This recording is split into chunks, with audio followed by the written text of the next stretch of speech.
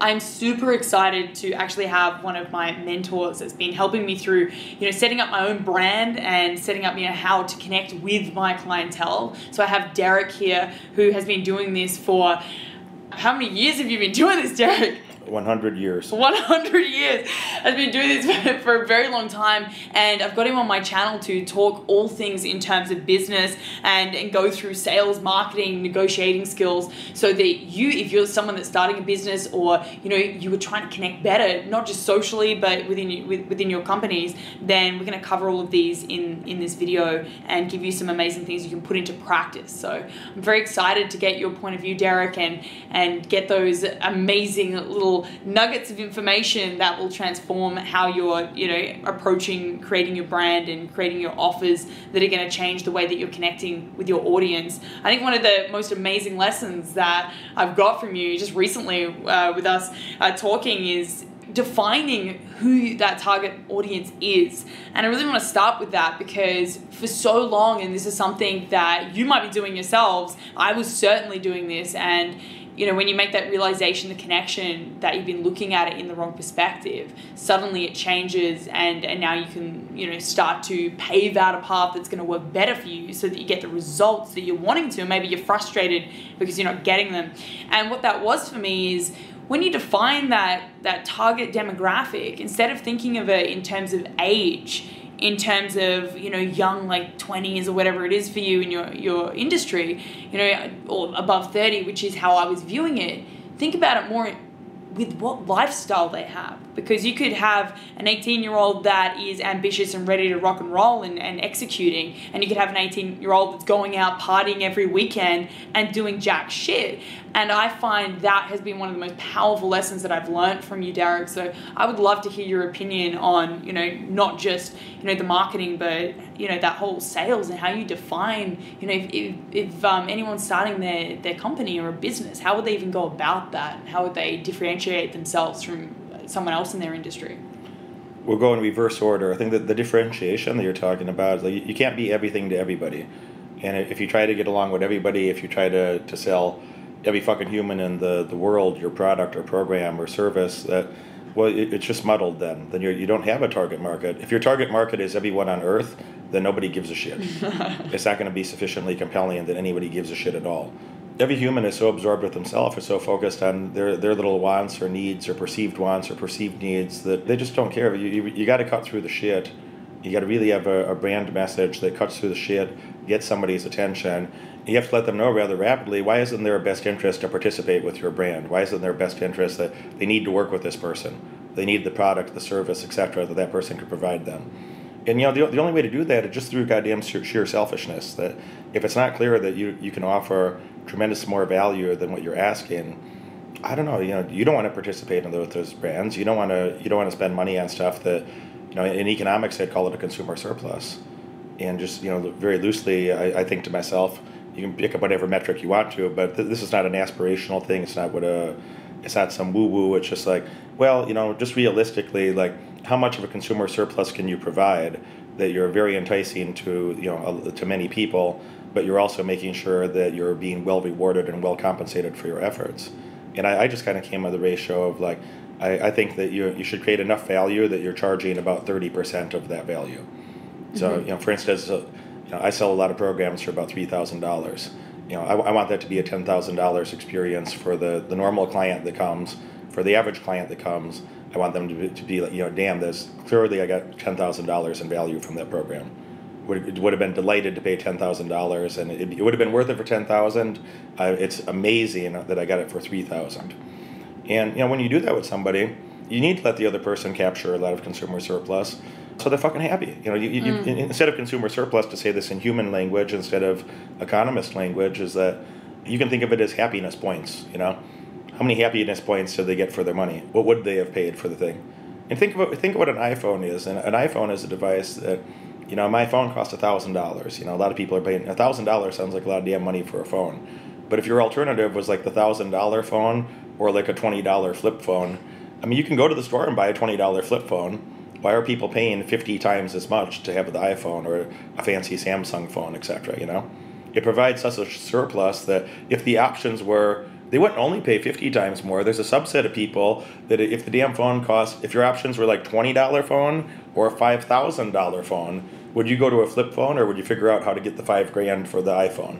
Yeah, you would see the value in it. I think uh, another point that comes up is, and I see you do this and you do it so well, right? And it's so genuine. And I think a lot of people in business, they go about this in the wrong way, but the connection, right? It's like if you value your coaching or your program at 10 grand versus, you know, $20, there's a reason for that. And one of the missing links, which I've definitely learned from being mentored by you, Derek, is connecting with your audience, right? Opening them up and making them realize that the investment of getting that money is actually half of the value that you're getting. Like that's that's one of the biggest lessons. I remember when I first started this and I, I did this program and you know, I was like, oh yeah, pay for the, the first part of it. Then it got to the end and then they, they, they sold me, you know, they did the upsell.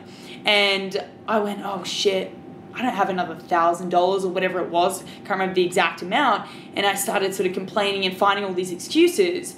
And then I realized look at I just spent five days in this particular program of what it was, and the amount of value was just priceless.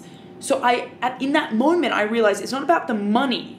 It's about the lesson I'm learning and the discipline of finding the money, being resourceful, getting that money, and knowing that that program, I resonate with the person behind it. I resonate with how they structure it, the systems that they have, and therefore it is a investment that is I'm going to get ten times, you know, triple the, the money back of what I'm putting in. So I think as just to wrap back to what we, we started with, not only that surplus value, but that emotional connection. So I would love to hear more about you know your opinion on that, Derek, in terms of how to get to open them up to get them to realize the benefit of investing in a program.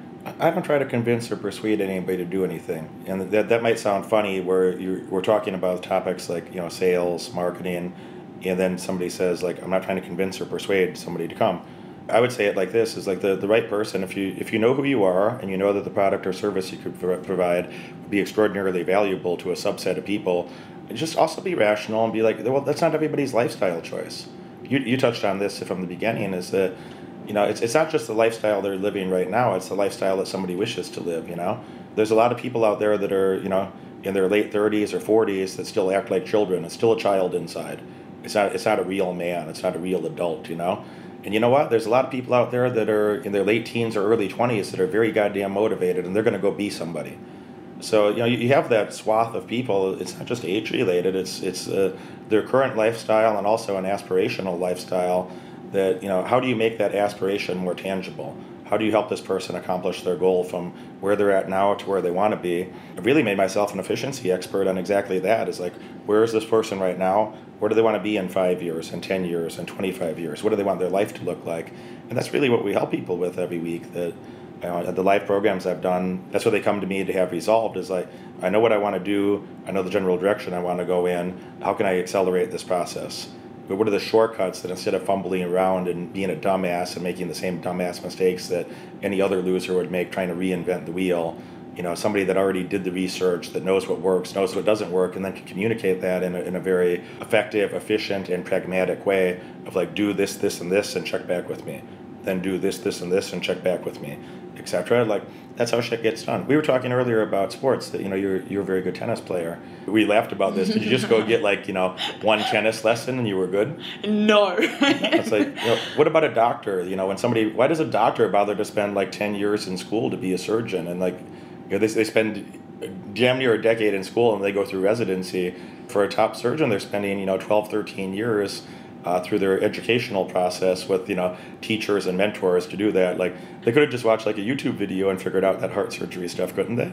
Yeah, I probably wouldn't trust that person that watches the one YouTube video. Yeah. And I think that was such a huge epiphany before when we were laughing about this because I played so much sport growing up and yeah, the tennis thing, it was grueling. You know, it wasn't like I had one lesson and I was good to go. It was like every single day for months right? It was like, you know, eight hours on the court and then like recovering and then back out there repetitively, consistently developing that skill set. So it was an auto response. And, you know, I think, you know, people don't view that with their own business. They don't put the same amount of consistent practice in. And that's where you get the, the best results is when you put that effort in.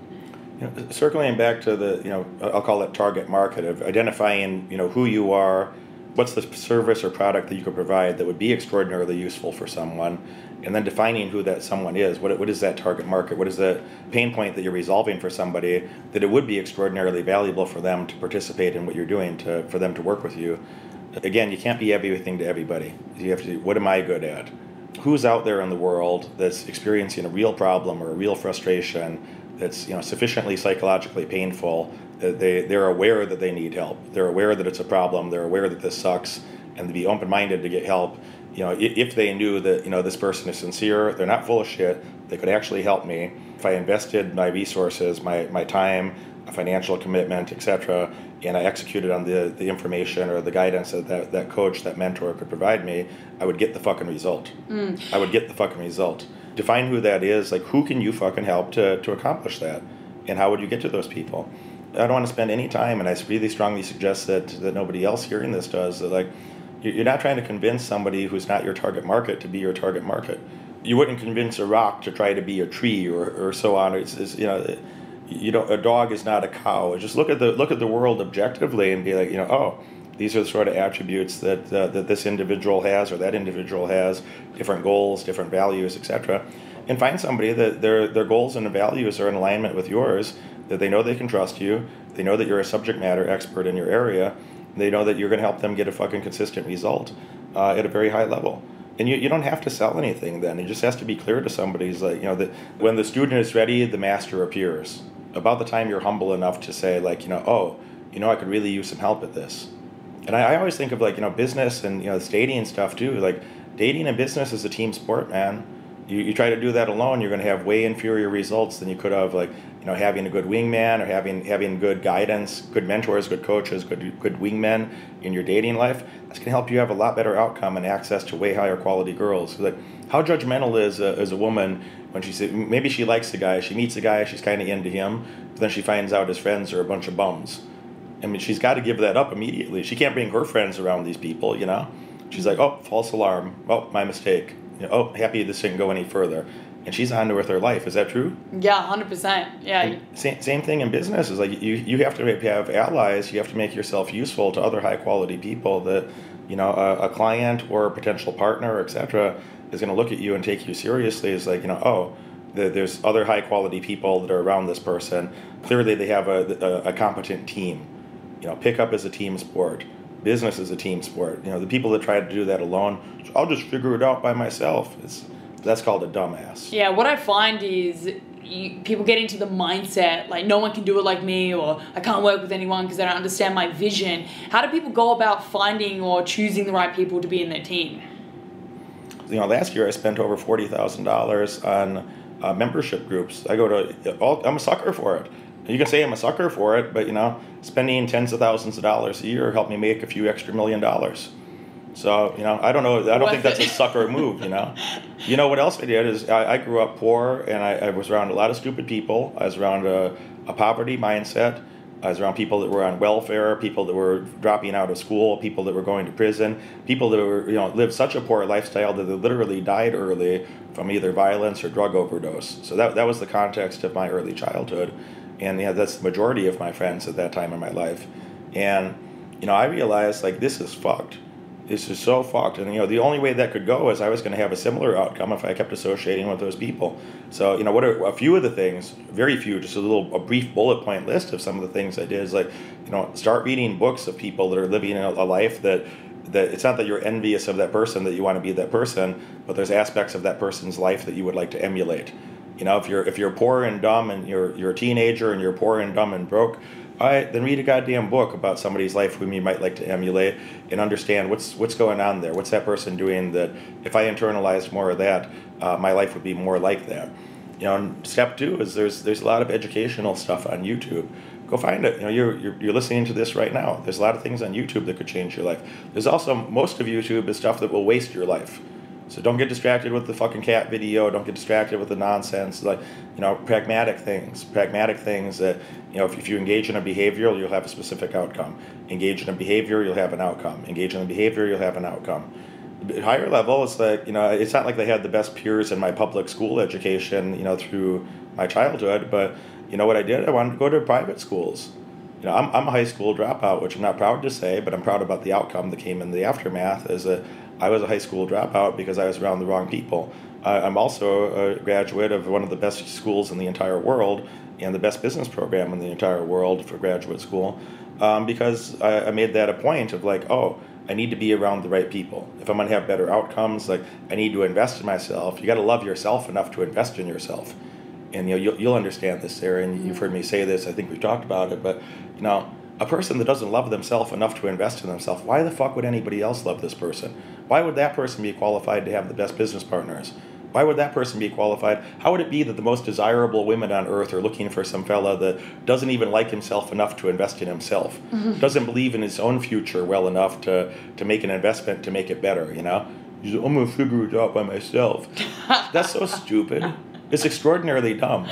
It's extraordinarily dumb. That, that's like, yeah, I, I, I use this example sometimes. Is like, if you had no other information, you had the option of like, you could have like free laser eye surgery or $10,000 laser eye surgery? Like, what sounds better? No other information. Which one are you? It's your eyes. It's your eyes. Do you want free laser eye surgery from God knows who? Or ten thousand dollar laser eye surgery. What sounds like a better deal? Yeah, you can't help but choose the ten thousand, and it's it's so important to realize that. How much are you worth? Like, how would you treat yourself? you know and, and that's how you should be running your business it's like you have to invest in it to get more back i love what you were saying before you know you spent like what 40000 last year but that helped you make a couple of million dollars oh, i spent over 60000 this year already i've already committed yeah. six i want a 100000 a year i spent 100000 a year just on those membership groups because you get access to people yeah. and ideas that you would you, you can't find that shit elsewhere. Yeah write these goals down. You have to write these goals down. You know what i think the trade-off is is that instant gratification. We live in mm-hmm. this world where it's like, oh no, no, no, I need I need the money right now. But if you strategically think about this as an investment, you spend that ten thousand dollars or forty thousand dollars, whatever it is, think about a year from now, two years, three years. Like you cannot think in that small mind that you might may currently have right now, and you need to set those targets and those goals, and then reverse engineer it through systems that are going to work to get you there by developing the team that you're talking about that is going to help you get there. If you're going to do it by yourself, yeah, you're a dumbass. Like it's really stupid. You want to learn that lesson very early on.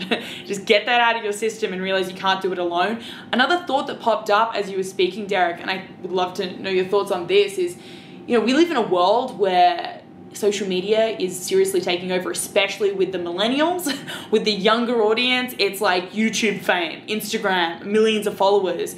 And a theme that I'm seeing, especially with friends of mine that have these big followings, is they do not know how to capitalize on the audience that they have. They don't know how to, you know, bring them in and, and sell to them, right? So there's people with this influence that can influence people globally and, and, you know and they're doing nothing with it not making any money and then there's friends that i have that have like you know a couple of thousand followers if that and they're making like double the money or triple the money than these people that have this perceived value of millions of followers.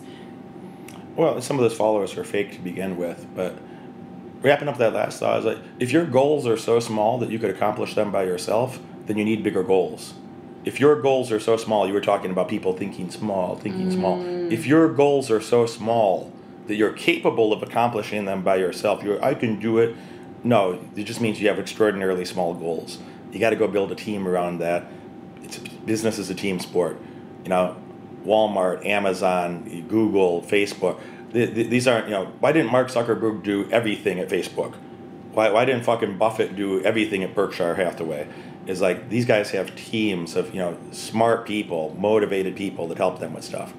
Let's go back to your social media comment. You know, a lot of these people, um, some of them are vanity metrics. That they bought a lot of followers, and they have, it's a lot of fake shit. Now, a lot of these, I have, I have friends that have multi-million followers. You know, four, three million, four million on different channels, and look, you know, it depends what your what your branding is. And some of these people, I, I don't want to say their names out of respect, but. Uh, they wanted a lot of followers, but how many customers do they have? They built a channel based on a you know entertainment factor. It's that it's their they're entertainer. They're not they're not a fucking subject matter expert. They're not actually helping people solve a problem. They're an entertainer. They're somebody that gives you a little giggle for for four minutes or fifteen minutes of your day, and then you go back to your life and you're like, oh, that dude's funny or oh, she's funny. and you know, but they don't trust those people in a way that they're going to help them solve a problem that they're willing to pay them a lot of money for it.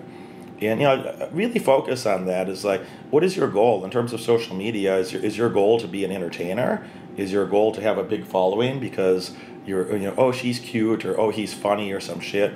Or is your goal is is that if that's a business asset, then God damn it, use it like a business asset. Like how are you helping your customers?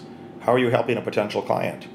You got to be able to help the client, and you, you have to make it clear to them that why your your product, service, etc. is worth paying for and you have to make it clear what their consumer surplus is.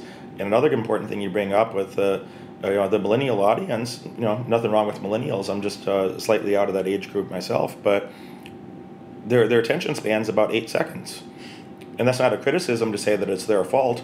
But it, but it is a, a factual observation that these are people that are really overwhelmed with information. They're bombarded by all sorts of information, all sorts of stimulus, and if you can't cut through the shit and get their attention and captivate that person rapidly and with credibility, they can't pay attention and say, you know, it's you failed. You failed. And it might have been somebody that you could have changed their life. And they might have they might have paid you an extraordinary sum to do so. But you failed to captivate them. You failed to get their attention. You failed to cut through the noise. And this is something that you and I talked about, uh, you know, earlier today and many times in the past. Is that you're not trying to communicate to the 50th percentile person. You're trying to communicate, like, you know, who is the person that I could best help? Who are the people that are most happy and most satisfied and get the most value out of working with me? All right, how can I find more of those people? How can I get to that niche little following? You know, my social media stuff is very small. I've got like 7K. As we're doing this, I got like 7K on IG. Uh, I've got, uh, I don't know, less than 12,000 on YouTube. You know, I, I also make a few million dollars a year in revenue off of those things. It's not even my primary business. I, you know, I'm a finance guy. I make money in distressed investing and real estate primarily. It's not even my primary business, and I'm still making over three million in revenue with these tiny little channels. Now I know other people that have three million followers, and they're not even making one million in revenue, and they have a hell of a lot more followers than I do, and it's a real problem. So like, set that goal for yourself of like, you know, there's a lot of people out there, guys. I take these people to dinner, and you know, I got to pay for dinner because they got a lot of celebrity status. but they don't have is a lot of money. And you know that that's you know if you if you want to be famous for something, you know, go listen to something else. I I'm not here to help you be famous. I am here to help you be wealthy. I'm here to help you to have a, the freedom in your life to spend your time doing the shit that you actually want to do, and not some fake ass shit like you feel like you have to do. To go find more independence. To you know, a lot of people come to me for business advice. Uh, they want help with uh, how do I get a raise? How do I get a promotion? How do I earn a, a, higher level of respect and compensation within my current organization? How do I build a side business so I can start transitioning out of my current organization to have my own private organization you have more freedom and control of your life? How do you transition out of that entrepreneurial phase where you're a worker in your own business and become an investor later so you don't have to work? So you're not working, that you're, you're investing your money, you're using your, your wisdom and knowledge and accumulated skills to seek out the right investments and the right partnerships so you can spend even more of your time doing the shit that you want to do instead of some fake ass shit that you feel like you have to do. That, that really sucks the soul out of a lot of people having a corporate job. And nothing wrong with a corporation. You know, it's a, corporations made our iPhones. Corporations make the internet. Corporations provide a tremendous value. I love Amazon sends me packages overnight. You know, I press a couple buttons on my phone or my laptop, and as if by magic, shit appears the next day. Instantly. I think that's fantastic. So there's nothing wrong with a corporation, but you know, do you want to spend your life in that role, or could you make a bigger role for yourself? You are the star of your own movie. Is that the role that you're going to play in life? Is in somebody else's business, or you know, could you make a bigger role for yourself? Whether it's in that organization or your own organization, be the star of your fucking movie. Make the best life possible for yourself.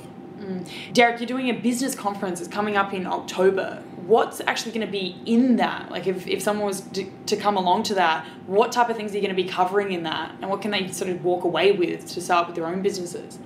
Sure. Yeah, we simply called this the Derek Business Conference. It's going to be a four-day event. It's going to be in Manhattan, New York. It's not going to be in Jersey. It's not going to be in Queens. It's going to be in Manhattan, right in the center of the action. We're going to spend four days together. We're going to teach you a lot about sales, marketing, and negotiations you know, why those three topics? You know, well, I, you know, I could teach you about accounting too, but you know what else? So could your community college professor.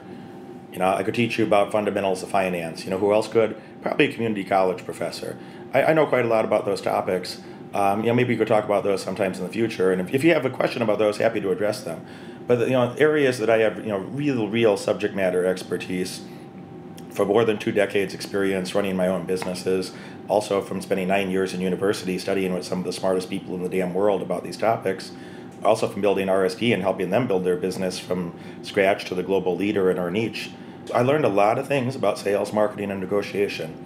I guess i should define those things briefly and i'll tell you what we're going to do at this conference but you know marketing is just conveying a brand message is being you know clear about the product or service that you can offer to a customer who that target person is that, that would be your ideal customer and getting to those people. We're not trying to convince and persuade the masses to buy some shit that's not going to be useful to them. They wouldn't even know how to fucking utilize it if they had it.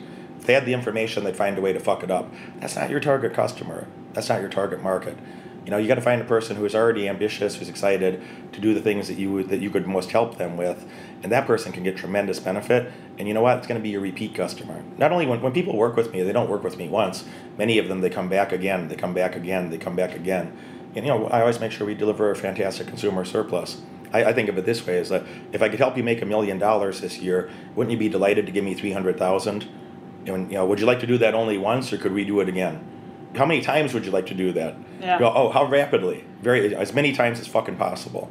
So that's why I have a lot of repeat customers and repeat clients come see me again. I think it's a huge But- mistake that most companies do. They don't think I should be selling like reoccurring, and that's one of the biggest things I learned from you, Derek. Is what you just sell somebody once, and that's it. It's like no, like if you genuinely cared about your clientele, you would be selling them over and over again because they're going to make more money, they're going to have more success in the long run. So People want to buy shit that's valuable. I, I'm a, I love buying shit. Yeah, me Why- too. I went out of my way to make a lot of fucking money, and you know, there, there's some people out there that are a lot wealthier than I am. That's fine, but I went out of my way to make a lot of fucking money. So when I see a great opportunity, I can take it.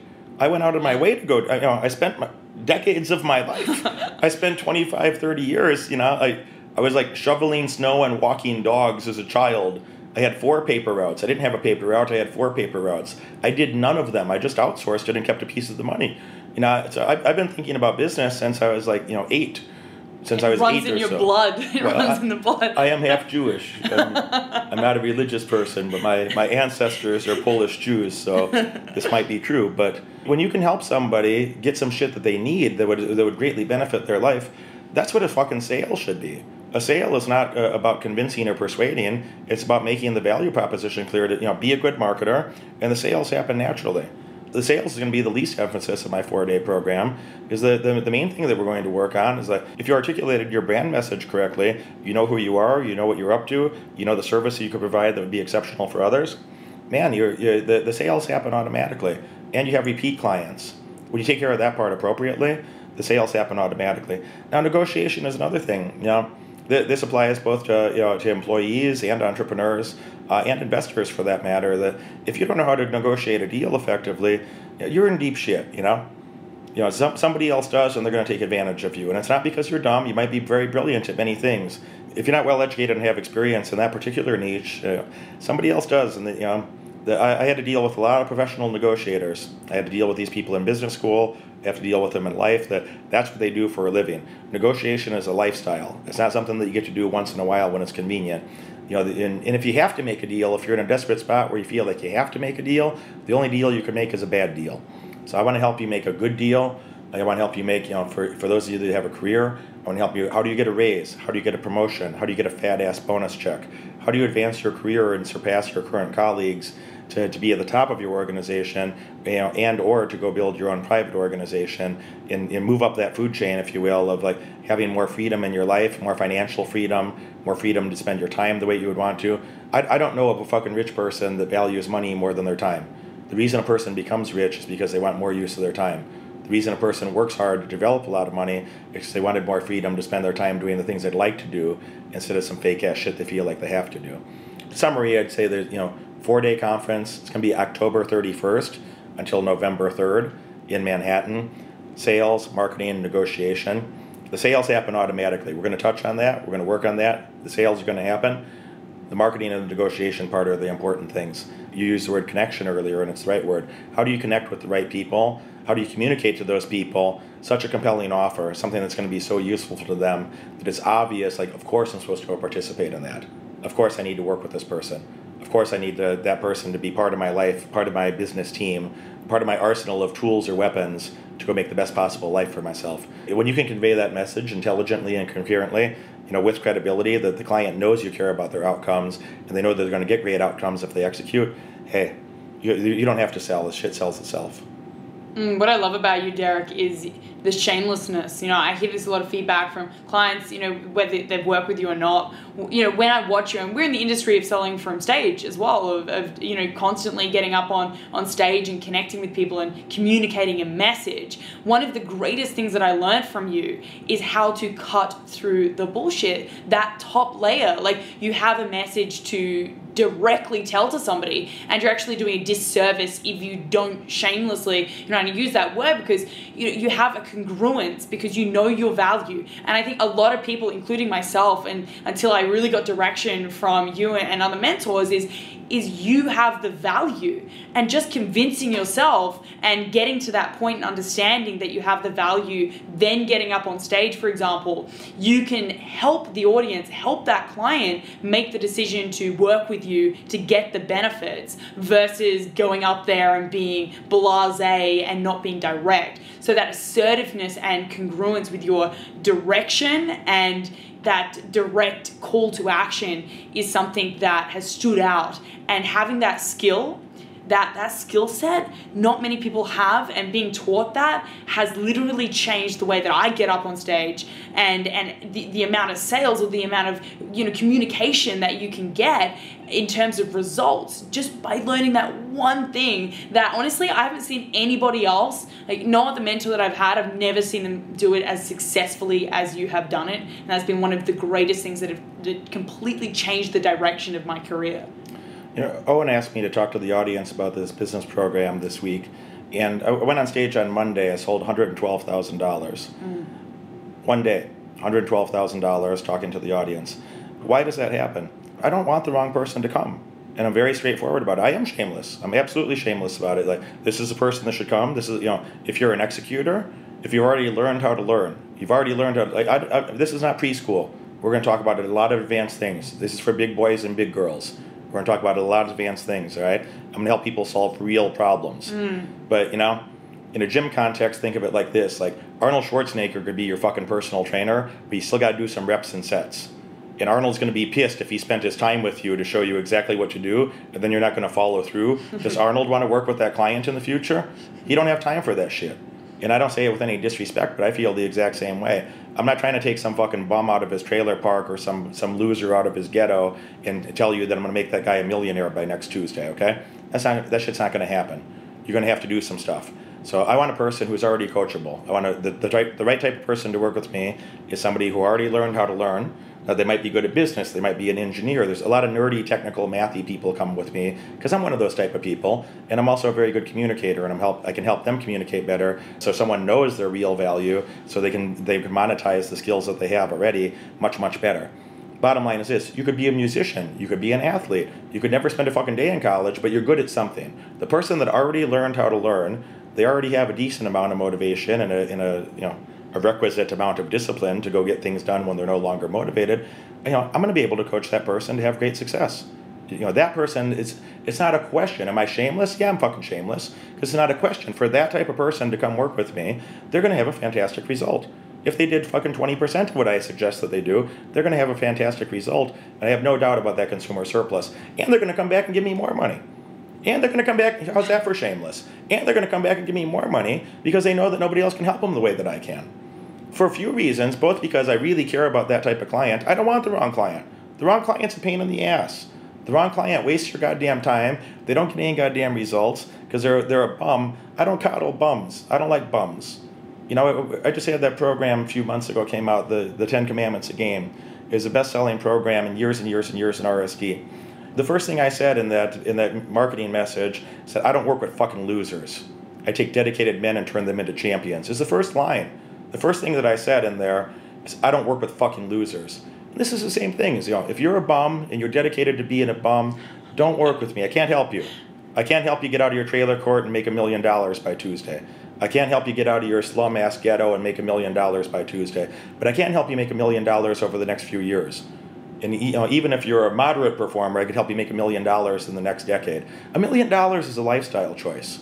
Uh, now, a billion dollars might entail some luck. A million dollars is a lifestyle choice. If you live in a first world country, a million dollars is a lifestyle choice. Now, you, you might choose to be poor, or you might choose to be a multimillionaire, yeah, but it is a lifestyle choice. A person who has a decent functioning brain, they already learned how to learn, that person's going to go do good. You know, what I said a few minutes ago, Owen asked me to get back on stage, and, you know, yesterday I went on the stage and I told the, the same audience, I said, you know what? I, I told them I had 30 minutes because I had dinner. Uh, I had dinner with some of my former clients. I really like my clients and I had a, a, raffle where 10 of them won dinner with me. I had a fantastic dinner last evening. Spent about three hours with the guys. It was really, it was a lot of fun. I really enjoyed it. They really, really enjoyed it. But I had to go to this dinner, so I had a, a time urgency. He's like, you know, hey, well, you talk to the guys, and like, tell them about the business thing you're up to, and you know, invite them to, to be a part of that as well. And you know, if you want to hear shameless, is I went on the stage briefly.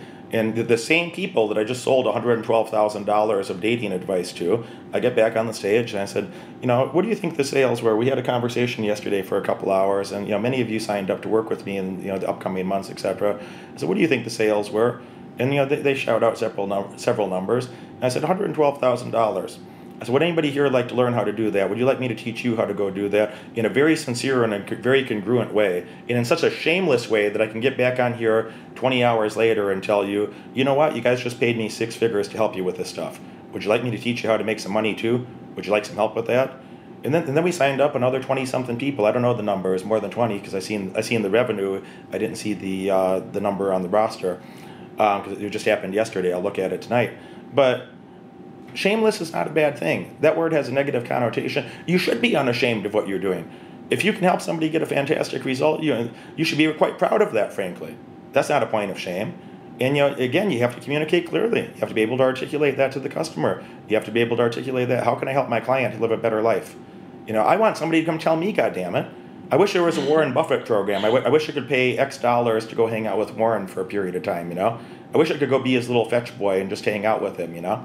Uh, he wouldn't even have to speak to me. If I could just go get him a, some McDonald's and a Coca Cola when he wants one, if I was just allowed to be in the room, I'd pay a, an extraordinary sum for that. I think I'd pay half of my net worth to do that because I'd be able to multiply the other half to such a high level. Just having having that experience being around the man, I know I'd make all my money back and a, and a lot, lot, lot, lot more. Yeah. So you know, something like that is so clear the value proposition. Like you know, would you pay half of your net worth to go hang out with Warren Buffett for a year? Yeah, you'd make a lot more fucking money over your lifetime, wouldn't you? I that's not a hard sell. You guys don't need to focus on the sales shit. You need to focus on communicating clearly, making sure the audience understands this person's credible, this person's serious, they're very motivated to help me accomplish my goals, but only if it's the right type of person. I also also inherent in that is screening out the wrong people. Mm. You know, if, if, a person that doesn't have those things, if you're not motivated, if you don't have any self-discipline, if you're okay being poor, if you're okay being middle class, if you're okay with it, stay there. Stay poor. Stay dumb. If that's okay with you, stay poor. Stay dumb. I can't help you if you don't want to help yourself. I can't help anybody that doesn't want to help themselves. That's but, powerful. That's really powerful what you're saying there because most people they will try to get everybody and they'll try to get somebody to squeeze into the mentality of being open for coaching. If someone's not open for the coaching, it's like they're not going to get the benefit. You're going to waste your time, and a lot of people don't want to admit that. But I love that you were just direct about that. Like you know, having the balls to differentiate somebody who's a good candidate to work with you because you understand the value of your time is a huge thing that separates you from other people that are just giving their time to everybody and you know dealing with people that are really just value leeching and not executing to get results. You want to work with clients that are ready to execute, that are ready to take your advice and, and go do it and come back and say, hey, this is what I've done. Where should I go next with this? What are the systems to put into play?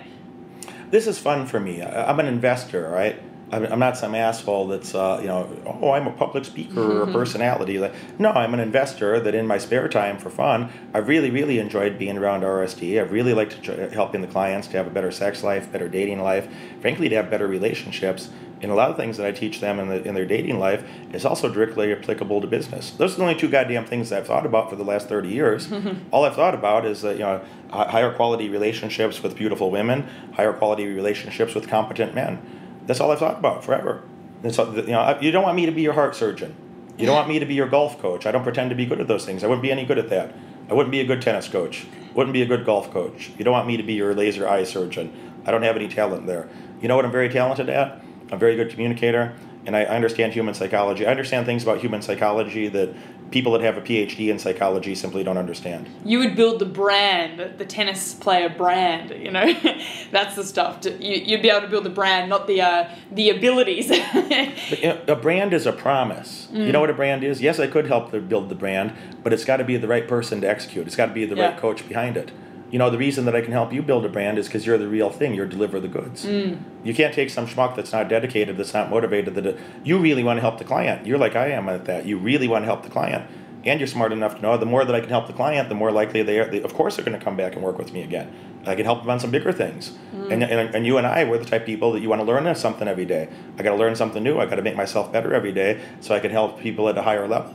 So i'm qualified to help people solve bigger problems I want to learn stuff every day. I think you're this way too. I want to learn stuff every day so I'm qualified to help people solve bigger problems. And you know what? The bigger problems that I can help someone solve, the more they can pay me for it.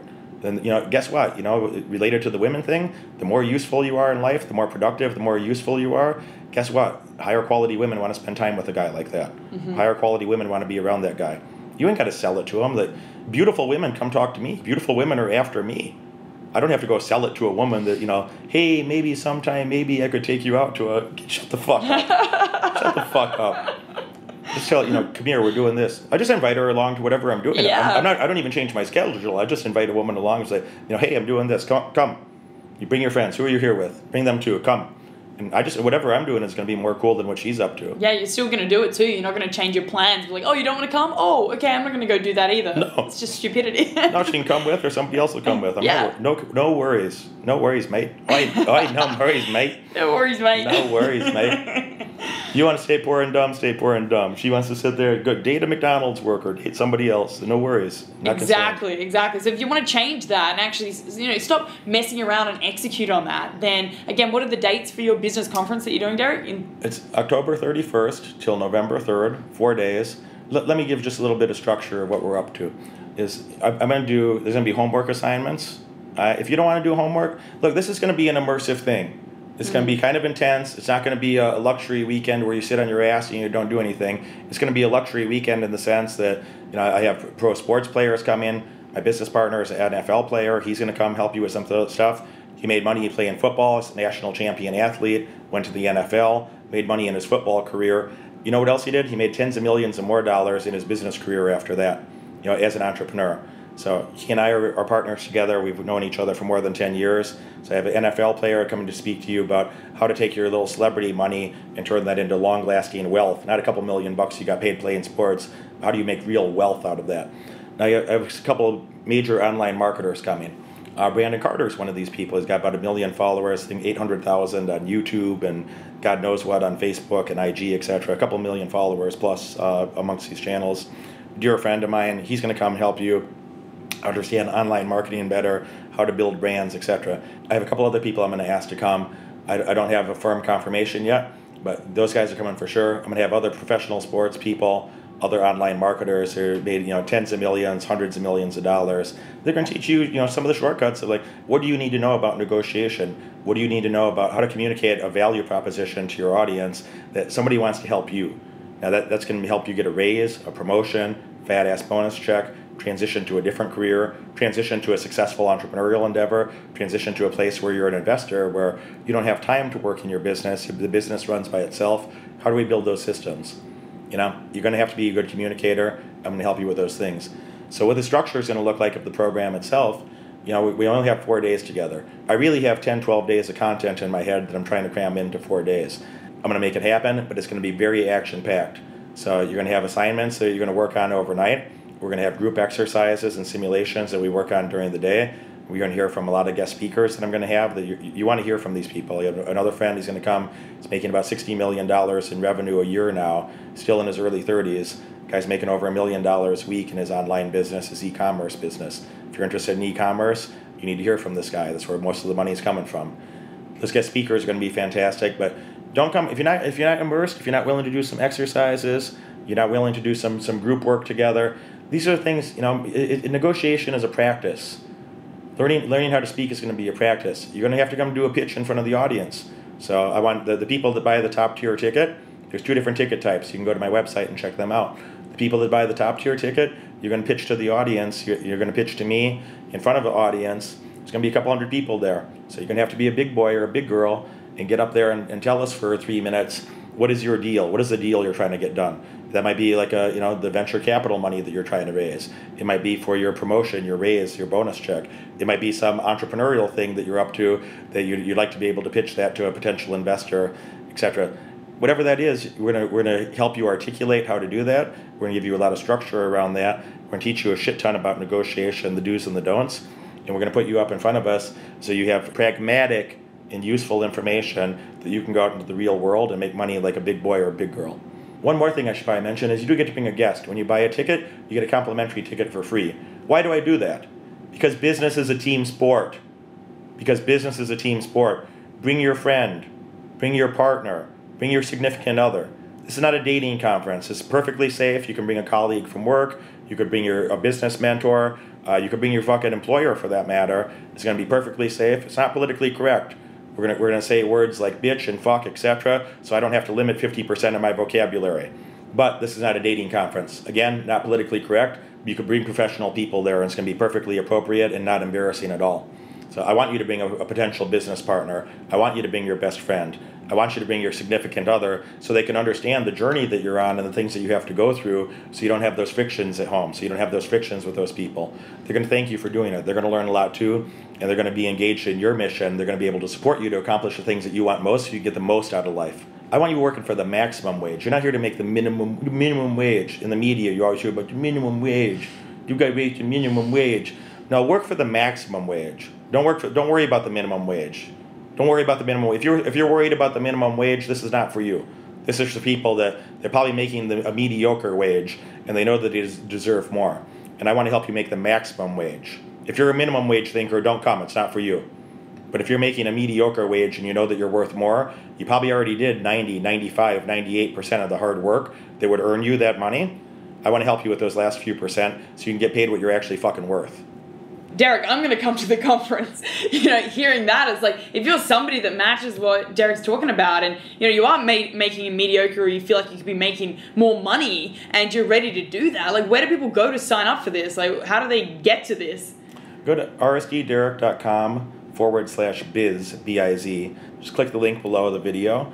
It's going to take you to a page to help you understand more nuance and detail about exactly what we're doing. If you're a serious person, this is for you do not waste time jump on that. Honestly when i got to work with derek it transformed my entire business plan and i started making more money right? I wasn't wasting my energy i wasn't wasting my time i started making more money. And that me making more money okay it's not just yeah okay I, I got more money. It means i can help more people and that's my mission right? That's what why i do this work Okay, so if you're serious about doing that, click that link and make sure you get the spot before they're all gone because you know you don't get many opportunities to work with somebody like Derek, and that's going to completely transform what you're doing. All right, you want to take advantage of opportunities when they come up like that. So click that link and jump onto that website, guys, and make the most of that opportunity with him.